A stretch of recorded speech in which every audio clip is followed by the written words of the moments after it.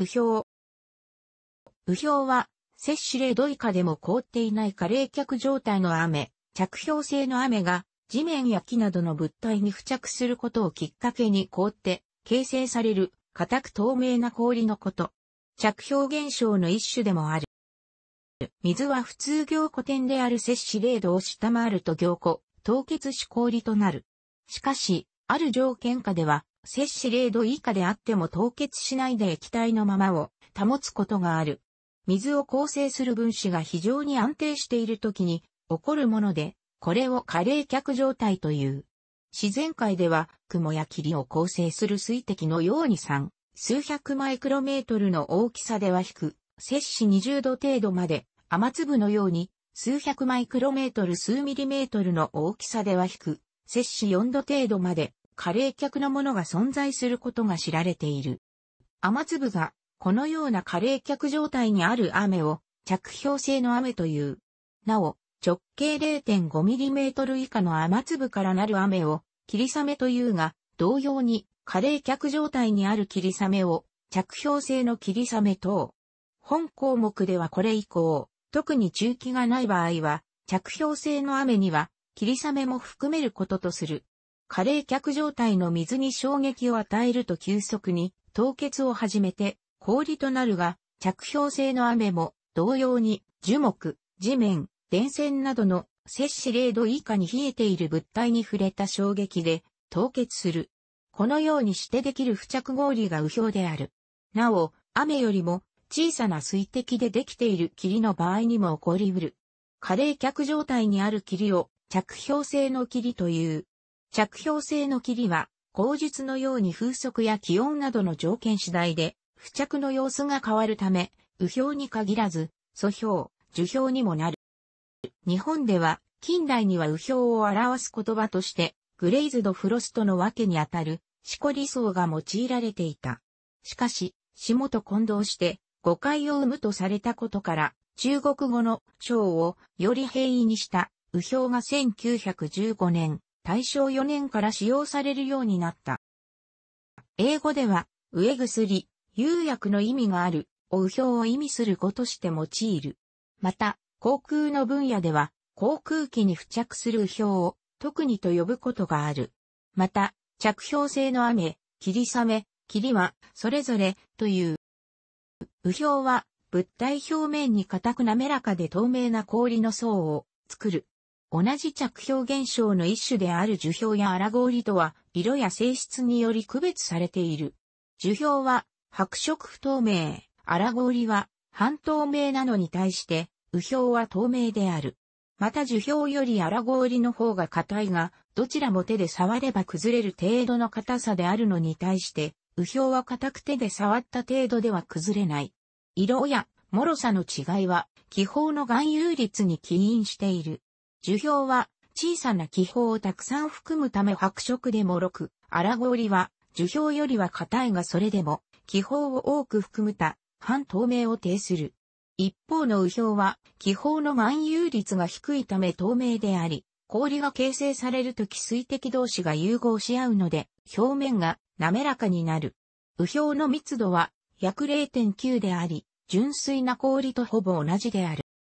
なお、摂氏0度をわずかに超えた雨粒が、摂氏0度以下に冷えた物体に付着しても透明な氷ができ、雨氷と混同される場合がある。また、積雪が融解した後再び凍結するなどして、透明な氷ができることもある。これらは、雨氷ではない。なお、再凍結によりできるもののうち、例えば細く、地面に向かって垂れ下がるものはつらら、その逆に空に向かって伸びるものは氷だけの子、標準という。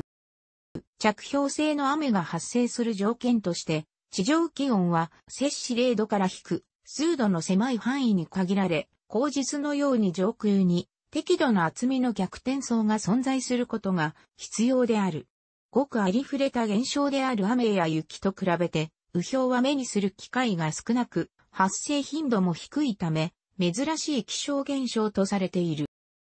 低地の平野部よりも地形に起伏のある山地などの方が発生しやすい。これは起伏により逆転層が形成されやすくなることなどが原因である。右表が物体に大量に付着すると、樹木の枝が重くなりって折れ曲がったり、地面に氷の層を作って、人の転倒や車両のスリップを引き起こすなど、被害を発生させることがある。一方、樹木などに付着した右表が美しい風景を作り出すという側面もある。着氷性の雨や霧は上空でも生じるが、これにより、右表が航空機の翼などに付着して、運航に重大な支障を引き起こす例がある。着氷性の雨の形成には二通りある。一つは、雪が溶けて生じるもので、上空で生成された雪が落下する間に溶ける、融解過程を経る。融解過程には、上空に逆転層が生じることが必要である。もう一つは、初めから過冷却の状態にあるもので、初めから過冷却の水滴として、雲の中で水滴が発達し、地上に達するものである。このプロセスは、過冷却の暖かい雨と呼ばれている。着氷性の霧の場合、初めから過冷却の過冷却の暖かい雨である。通常、大気は上に行くほど気温が下がるが、例えば上空の高さごとに風向が異なり、上下の冷たい空気の層、冷気層の間に暖かい空気の層、暖気層が侵入すると逆転層が発生する。逆転層発生の要因は他にも地形による寒気のブロックなどがある。上下の冷気層が気温摂氏0度以下、真ん中の暖気層が気温摂氏0度以上の時、上の冷気層の雲から雪が降ると暖気層で融解して雨、冷気層で再冷却され着氷性の雨となる。ただし、前期のような逆転層があっても、必ずしも着氷性の雨にはならない。逆転層があっても、暖気層で雪が完全に溶けないで雪となる場合もあれば、冷気層で凍結してしまい氷の粒が降る等雨として観測される場合もあるからである。実際、着氷性の雨より等雨の方がはるかに発生頻度は高い。具体的に暖気層の厚さが何百メートルないし、気温が何度というようなデータはいくつか報告されているが、事例によりまちまちで定性的ではない。雲や雨粒のような大きさや存在環境では、過冷却の水滴が珍しくないことはすでに述べた。例えば一般的に雲の中では、摂氏0度から低摂氏4度程度では、水滴のほとんどが過冷却であり、気温が低くなるにつれて少なくなるが、低、摂氏20度程度までは、過冷却の水滴が存在する。なお、実際には、この種の雲はおおむね雲頂の気温が低、摂氏10度より高いことが知られている。これが成長し、過冷却を保ったまま降って地上に達した場合、あるいは上空で航空機への着氷などとして観測されれば着氷性の雨になる。この種の着氷性の雨は水滴の直径が小さく、雨というよりも霧雨に分類されるものがほとんどである。過冷却の水滴を含む雲は山地などの地表に現れると着氷性の霧として観測される。着氷性の霧は条件により、右氷、樹氷、荒氷になる。三者の違いは、気泡の万有率にあることは、概要の節で述べたが、これと相関性が高いのは付着成長していくときの気温と風速である。気温が高いほど、また風速が速いほど、気泡が少ない傾向にある。ある研究によれば、気温摂氏2度以上では風速に関係なく、ほとんどが右表になり、気温摂氏2度から低摂氏4度の間では、風速により、右表と荒氷に枯れ、気温摂氏4度以下ではほとんど右表は発生しない。着氷性の雨や霧が物体に付着してから完全に凍結するまでには多少の時間がかかる。この時間は凍結に伴う鮮熱放出による加熱、蒸発に伴う鮮熱吸収による冷却などの熱のバランスに左右され、湿度、気温、風速などに相関性がある。凍結速度が遅いと枝の表面などでは水の部分は重力により落下していくほか、氷の表面は濡れた状態である。なお、右表の凍結を決定する熱的な収支バランスは、検熱フラックス Q、鮮熱フラックス Q、右表の凍結に必要な熱量 Q の3つの和により表され、木の枝など円柱表面における算出式は以下のようにいる。この値が負で値が大きいほど、凍結は早いと考えられる。気温と物体表面の温度が低いなどの条件が整うと、着氷性の雨は物体に付着してすぐに凍結し、次々と積もって厚い氷として成長していく。屋根や壁のような平面の物体では、低い方へ広がりながら凍結していく。電線や木の枝のように細長い物体ではそれを取り巻くように凍結する。地には、つららのように滴りながら成長したり、風のある場合は、風上や風下に偏って成長したりする。地面に積もる量としては、極度に激しい雨氷の場合、最大でおよそ4から6インチ、10から15センチメートル程度の厚さになった記録がある。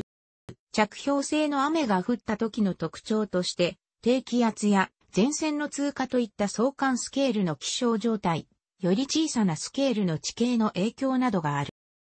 また目安として、気温分布図では、摂氏0度の等温線付近、降水分布図では、雨と雪の境界付近、風向分布図では、風向が急変するインドシアの近傍にそれぞれ、着氷性の雨が分布することが多く、分布域は前線に並行することが多い。分布域は普通細長く幅は狭いが、北極に近い高緯度地方では、幅 50km 以上の広範囲にわたって、着氷性の雨が降ることもある。また東雨は、着氷性の雨と似た条件で発生するため、似たような分布を示すことが多い。相関スケールの気象は地域により、差異があるため一概には言えないが、いくつかの例を挙げる。日本においては、主に二つのパターンが多い。一つは海に面した平野部で、下層に北寄りの風による寒気の遺留、中層に南寄りの風による暖気の遺留があって、そこに逆転層が生じるパターン。もう一つは内陸の盆地で弱風下で下層の盆地内に寒気が滞留していて、冷気湖という中層に南寄りの風による暖気の遺留があって、そこに逆転層ができるパターンである。天気図で見ると、対極的には、日本海と本州南岸の二つの低気圧が並んで、等身する二つ玉低気圧の時に起こる場合が多い。また着氷性の雨の分布は、低気圧の東側にある温暖前線の寒気側から低気圧の周囲付近にかけての細長い地域となる場合が多い。アメリカではいくつかのパターンがある。前線を伴った低気圧の北側、温暖前線や停滞前線の寒気側で発生するパターン、大陸に張り出す高気圧の辺縁部、寒冷前線の寒気側で発生するパターン、大陸を等身する低気圧と東海岸の高気圧との間で発生するパターン、アパラチア山脈による寒気の咳止めにより発生するパターンである。山地など起伏のある地形の場所では斜面を空気が上昇すると、空気がかき混ぜられて逆転層ができ、雨氷が発生することがある。一般的に標高が高いほど雨氷が発生しやすい。例えば、日本で雨氷被害の多い長野県では、雨氷の発生日数が標高に対応して分布するという報告がある。ただし、ある程度の高さを超えると逆に発生しにくくなることがある。これは逆転層ので来やすい高さがあり、標高が高くなると逆に暖気層に覆われることが多くなるためと見られている。また、山の斜面沿いでは一時的に狭い範囲で逆転層が発生し、山の斜面のある高さの付近あるいは片側だけ、雨氷が発生した例もある。一般的に起伏のある地形では、樹氷や荒氷も発生しやすいが、例年のように樹氷が現れる場所で同様に雨氷が見られるかといえば、そうではない。雨氷は条件が非常に限定的なため、限られた狭い地域で偶発的に発生し、年々変動が大きい。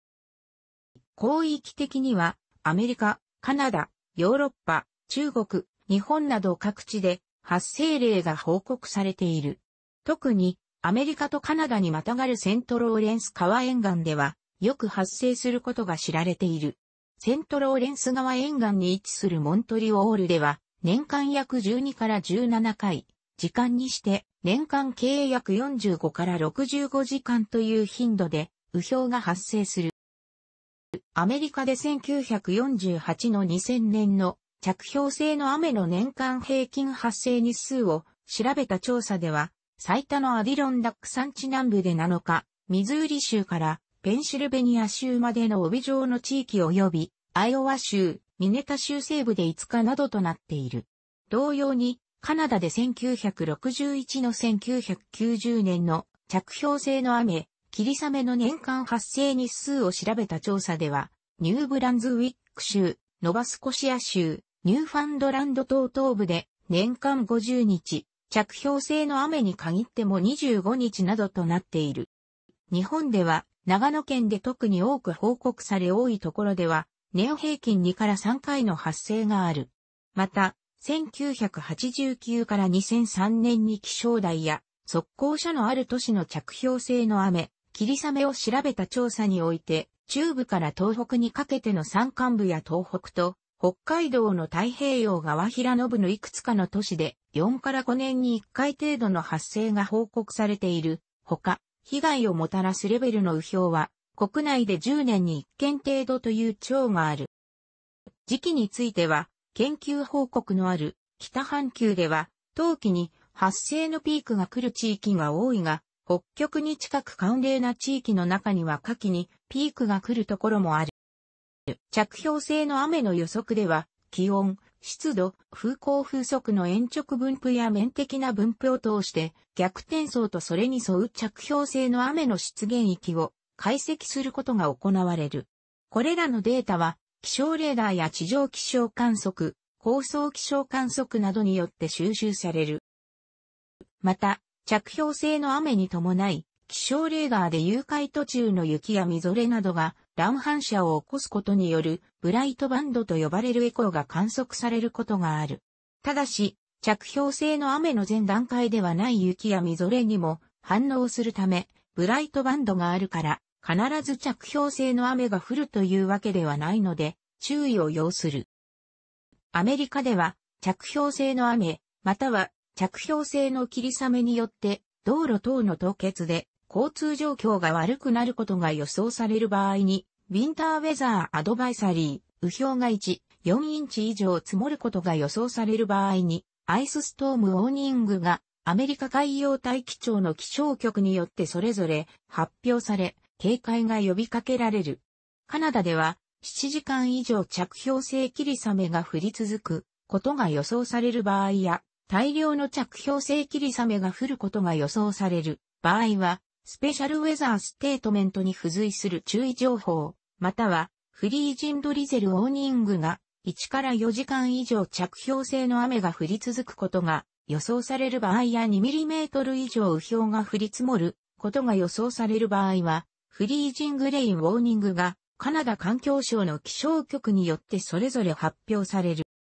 日本では着氷全般、雨氷以外の無氷、樹氷、荒氷、樹層、融雪の際凍結なども対象としているに注意を呼びかける着氷注意報というものがあり、雨氷の発生が予測される場合に出される注意報警報等では、これが最も重い。着氷注意報の発表基準は、都道府県や地域によって異なり、24時間降雪量などが基準になる大雪警報発表時に気温がマイナスに接し2度となる場合、大雪注意報まで含めたり、湿度90%以上という条件を付加したものもある。大雪注意報発表時に気温が低く、接し2度以上となる場合、著しい着氷が予想される場合、気温接し0度付近で波以上の雪が数時間以上降り続くと予想される場、船への着氷のみを対象に発表する場合等がある。また、着雪注意報という類似の注意報があり、この基準のみを定めて、着氷注意報の基準を定めていないところや、両方とも定めていないところもある。雨氷ができた後、気温が上昇するなどして、氷が溶けてしまえば、大きな被害は発生しない。しかし、例えば、カナダ、アメリカでは、着氷性の雨の約45%が1時間以内、約90%が5時間以内に終わってしまうという研究があり、長時間続くと被害が大きくなる。雪や無氷などに比べて雨氷は密度が高く、硬い。雨氷による被害の主なものとして、樹木の被害、電力網への被害、交通の支障、人的被害等が挙げられる。北東部を中心に被害が多いアメリカでは、着氷性の雨を伴った天候をアイスストームというが、1949年から2000年までの間にアイスストームによる損害額は163億ドル、2000年時点に上るとされ、同国内の気象災害による怪我の20%がアイスストームによるものだという報告もある。雨氷は鉱山で発生することが多いため、産地で局地的に雨氷が発生し、樹木への被害をもたらす例が多数報告されている。雨氷が樹木にもたらす被害は、枝の実が折れる軽微なものもあるが、傾いたり、大きく曲がったり、地面に倒れ込んだり、根ごと倒れたり、途中で折れたりといった深刻なものもあり、林業にとっては大きな打撃となる。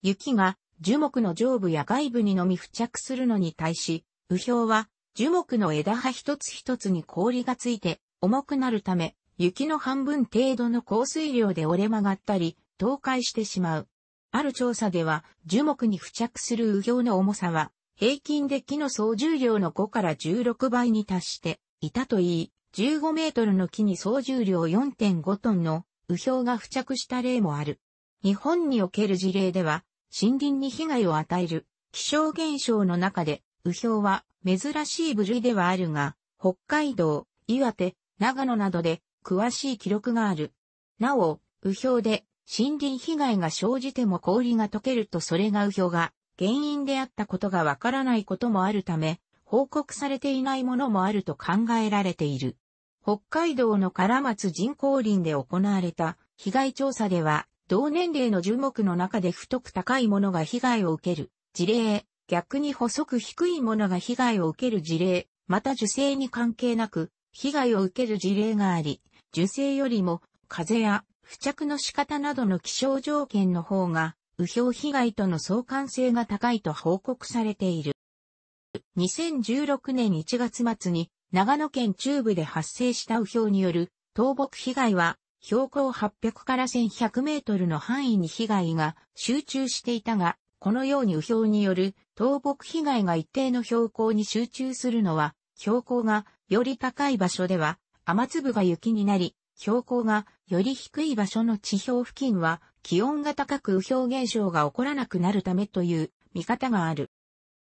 市街で発生した場合は特に被害が大きくなる。氷が電線に付着して電柱が倒壊し、氷の量が多い場合には送電線の鉄塔でさえ倒れることもある。鉄道の架線に付着した場合は、給電がストップして運行ができなくなるが、雨氷を取り除く作業は着雪などに比べて時間がかかり、運行再開は遅れがちになる。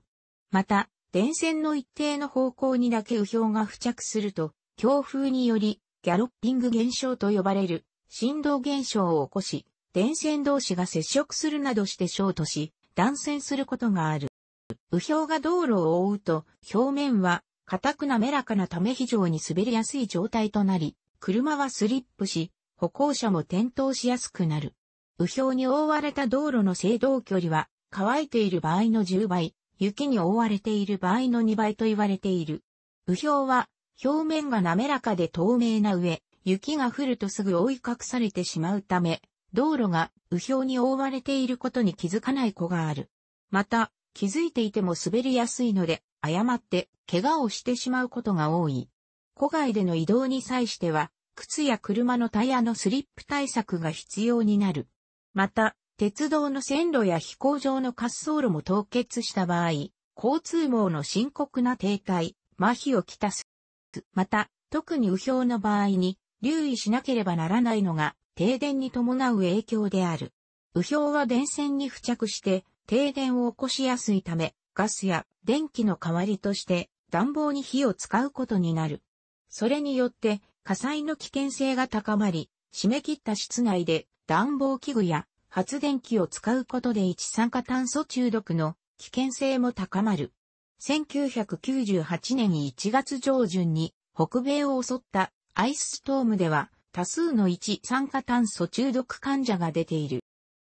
地上に限らず、上空でも、雨氷の付着被害が発生する。航空機に雨氷が付着すると、視界が悪くなったり、機体の重量や空気抵抗が増加したり、翼に付着して揚力を低下させたり、ジェットエンジンやプロペラに付着して出力を低下させたりして、航行に支障が生じることがある。その他の着氷も航行への支障の原因となるが、付着速度は、雨氷が最も速く、氷が硬く取れにくいため、最も厄介な着氷とされる。現在では、航空機の棒氷システムが普及しており、中型機では主に棒氷ブーツ、大型機では主にヒーターや空圧を利用した気候により着氷を良したり、氷を除去、除氷したりしている。